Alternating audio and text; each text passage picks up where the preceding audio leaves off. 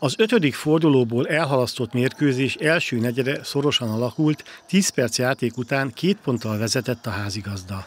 A második játék részben újabb négy pontot tett hozzá előnyéhez az NKS. Fordulás után 15 pont fölé kúszott a különbség, a Zala Egerszeg azonban nem adta fel.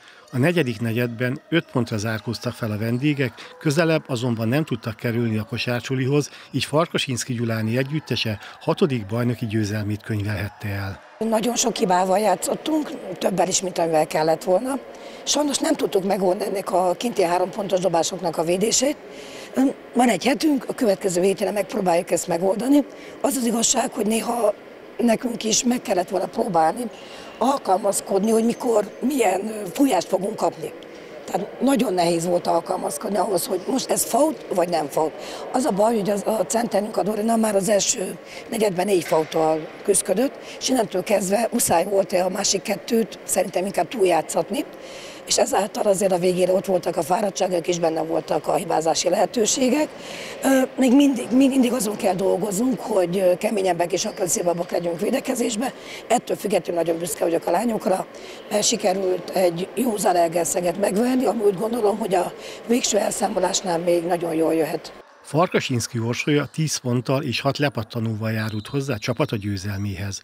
Korábban az aktív játéktól visszavonuló, edzőként dolgozó center a sok hiányzó miatt ért vissza a pályára. Sajnos a mai fiatalok nem nagyon hajlandóak már kosárlabdázni, akár a tanulmányok, akár esetleg ugye munka mellett, tényleg nagyon sokan hagyják abba, illetve ugye akik nálunk kosárlabdáznak, ők Budapestre tanulnak tovább, nyilván utána ott is helyezkednek el.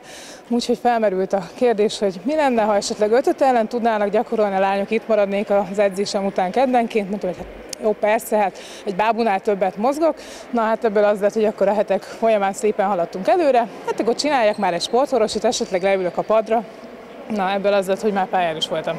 A nyíregyházi csapat legeredményesebb játékosa ezúttal is Dobó Lilla volt, aki 40 percet játszva 18 pontot szerzett, leszedett 9 lepattanót és kiosztott 11 gólpaszt. A szerdán az U18-as válogatott edzőtáborába utazó kosaras szerint fontos győzelmet arattak. A csapat hullámzóan teljesített, az első fél nagyon sok jegyzőcszerünk volt, a második fél próbáltuk összeszedni magunkat, minél nagyobb vágy volt bennünk, hogy legyőzzük az Alágerszeget, hiszen a legjobb hatba szeretnénk maradni. Eh, ahhoz ez a győzelem szükséges volt, és még ez Alágerszen is megpróbáljuk újra megtenni. A fehér csoport tabellájának élén a Zsíros Akadémia kőbánya áll 9 győzelemmel és 3 vereséggel.